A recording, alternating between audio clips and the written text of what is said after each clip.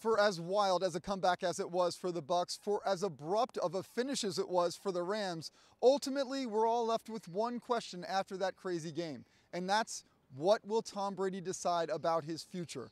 The big question now that Brady will have to answer over the next month, maybe even more, is whether he wants to return to pursue another Lombardi trophy with the Bucs.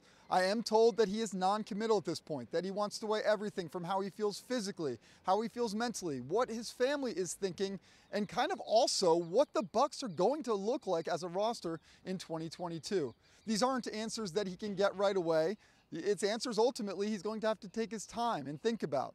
So we don't know yet what Brady will do. He doesn't know what he's going to do. We do know though that the Buck season is over. It was an abrupt end and one that will create an off-season full of questions.